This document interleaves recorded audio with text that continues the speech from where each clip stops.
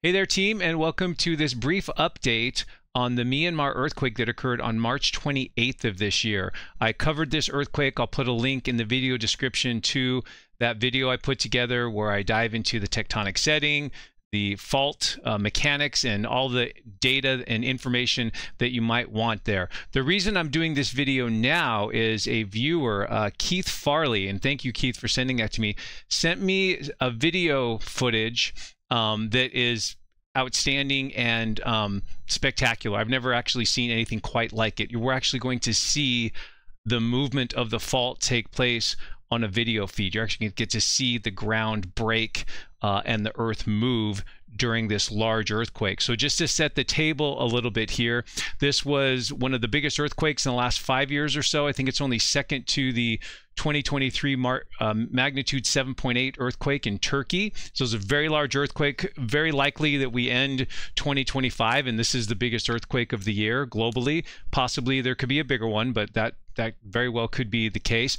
Uh, I'm not going to walk you through all the normal stuff I do with this earthquake because I've done that already, and that video again is for you in the video description. I do, before I get to this uh, really compelling video footage I have for you, I do want to share with you, and I'll put this link down as well. This is a really great uh, summary of that event. So if you want to know more about it, and if you want to kind of deep dive into this earthquake, the USGS has put together uh, a great presentation. This is a, what's called a story map. They use GIS and lots of data to put together essentially a really nice kind of slideshow PowerPoint type thing, although it's not on PowerPoint, but something quite similar to that with all sorts of information. Um, and so I just want to skim through this a little bit here. They've got some information on the background.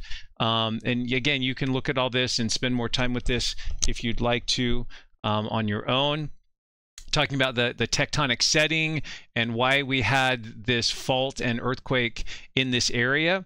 Um, I do. Uh, there's a couple really nice things on here uh, that I do want to spend some time with. There's sort of historic seismicity in the region. You can see the star where this uh, earthquake occurred on March 28th. All the circles are other historic events. Bigger the circle, the larger the uh, earthquake. And, but they do have some a couple things here that I think are pertinent to what I want to show you here in a second. Uh, one is that the modeling from this earthquake showed that there was a maximum slip or offset generated by this breakage of rock by this earthquake of about six meters, so about 18 to 20 feet or so, um, right near the main shock epicenter. Uh, further away, the movement was anywhere from two to three meters. In the video I'm going to show you, uh, based on the amount of slip we're seeing there, it's probably a little bit further away. In fact, I know the location. It's a good um, 100 or so kilometers, 70 miles or so south of Mandalay, which was near the epicentral area here. Uh, so one nice thing that they have on here is this little map over here, and we can actually make this bigger. So this actually runs you through the last 125 years of seismicity in the area. So there's a map of the area, the Sagaing Fault, which is the main fault system here. This is not on the plate boundary per se, but it's accommodating a lot of the tectonic motion between these two uh, plates here. And again, I covered all this in a earlier video, but this plate, or excuse me, this fault is, um, again, accommodating a lot of the motion. So you can see here running, you can see the dates here in the top left corner. Here's the earthquakes coming in. So they've got them plotted by magnitude. Um, and this takes about a minute to run through this whole animation, but it's really well done. Um, colors will change a little bit once they get like a big significant quake. So you can see yellow for the 7.6 and then these sort of regional aftershocks related to that. Big 8.0 down here, probably subduction zone quake along this part of the boundary. So this is just covering seismicity in the area. The main feature, of course, that we're focused on is this uh, fault system here, which produced this March 28th earthquake. Um, but you can see just the seismicity in the area over the past uh, century plus. Again, just letting you know how active this region is in terms of earthquake frequency and also earthquake magnitudes. You know, we do get these seven and above quakes pretty often. You can kind of see them popping up here, you know, maybe once every uh, 15, 20 years or so, depending on what the averages are. And then we'll get that big one there. Uh, big orange one there right at the end when we had this one. So I liked that a lot. I just wanted to share that with you. Um, kind of going down through their story map a little bit further. This is a animation of after aftershocks. So from this big quake we had in again March 28th of 2025, this is going to show the big main event there in blue a quick aftershock nearby and this will just run you through all the aftershocks this is a very short video uh, over like i guess about 11 day period following the earthquake. So again, great work from the USGS. There's some really fun stuff here. Uh, these story maps are really nicely done, giving you both visuals and text, uh, so you can really kind of digest and understand this information. Um, intensity levels were really high. You can see the elongated um, regions here, different than what we typically see. We typically see more of a bullseye pattern, but because this was a strike slip fault, the fault was moving the rocks laterally, horizontally, um, that distributed a lot of the strongest shaking in that north-south direction parallel to the fault. And so you can see that reflected here in the intensity values associated with that earthquake. Um, then they kind of zoom in, talk about ground deformation.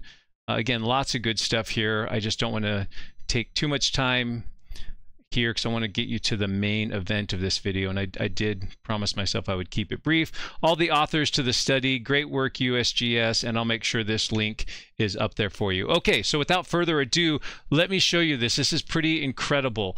Um, so what we have here, and this was, I'll share this uh, Facebook link as well. This was the, the original source as far as I can tell. Um, but basically a security cabin on some sort of, uh, security camera, excuse me, on someone's cabin or house. Um, and what we want to watch here is you'll see when I play the video, which is about 27 seconds long, uh, you'll see the initial movement of the ground, the shaking caused by the earthquake. But what I want you to watch is right after you see the gate kind of open uh, because of the movement, the fault system runs right outside the property. Uh, pretty much parallel to this street, just right outside the fence here. And that's where you're actually going to see the ground break. And because this was a right lateral fault, you'll see that side of the fault um, on the other side of away from the house out there on the middle ground, that will be shoved to the right relative to this side here. So it's, it's really an incredible video. Um, and that was the whole reason for me putting together this video here. So here we go. Let's see, the earthquake begins. Right here, the earthquake's begun. Watch right outside the gate there. and then you see it all just move uh, in a split second. It's really incredible. I've watched it about 30 times now, but let's I can't get enough of it. So there's the the initial movement, the strong waves. Then you can see, you know, maybe about two meters or so, about six feet of movement just outside um, the property here, right along the street. A couple other ways to look at it while I kind of run you through this several times. Um, you can watch the cement on in the driveway here buckle and break as those earthquake waves come in and they get compressed due to the or with the shear stress from the fault. You can watch some of the dust come up here once the movement takes place and the ground break off in this direction. Um, some like object just kind of fell over over there. Again, there's so many places to look here. Um, looks like we have one of the water tanks from someone's house comes down and explodes as it hits the ground and then the ground breaks uh, just incredible. Another good place to kind of focus your attention is just outside the fence on this right side. You can really see there just the ground laterally move. So the movement was mainly on that side. You can also see the power lines going crazy over there. Again, we're watching this several times just because it's so incredible. And I think, you know, as far as I know, as far as I'm aware, this is maybe the first, if not the best documentation of surface rupture, of ground breaking and offsetting the fault, or the fault, uh, the, the fault breaking and offsetting the ground. I'm too excited to articulate well um, that I've ever seen. You can watch this little kind of uh, pagoda, little kind of uh, pergola type thing here, little shrine, whatever thing, kind of get moved over. Um, the power lines. There's just so much to digest in this. So um, wanted you to see this. Just to i mean this is going to be a, a, just a classic video clip that i will include in uh, my courses to show them how surface rupture works. And this again just classic movement of a right lateral strike slip fault. Uh, and you can see everything just move there within about a second or so once those uh, the ground motion kind of hits things get compressed. Just so much going on here. So yeah, one more time. the water tank. I mean, there's just so much to digest here going on. uh, pretty spectacular stuff. So that was the whole point of the video. Just a quick follow up from this um, earthquake.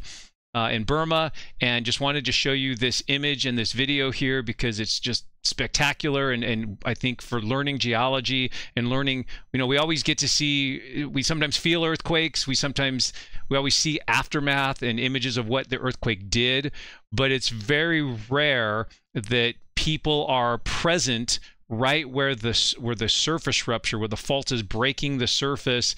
Uh, people are there to witness it, or in this case, have a video device there to record exactly uh, how that movement took place. So just perfect uh, image here from that security camera, looking in exactly the right direction, and just lots of good science going on there. Of course, I don't want to um, uh, you know, I, I want to make sure I also recognize this was a very devastating earthquake, and they're still feeling the effects of it. There were something like over 5,400 deaths from this quake and lots of injuries. So I don't want to um, at all, you know, not give enough credence to the humanitarian aspect of this quake, but purely from a science perspective, a uh, pretty fascinating video. So just wanted to share that with you. Hope that was helpful and exciting. Thanks for all you do to support the channel, and we'll see you next time, team. Take care.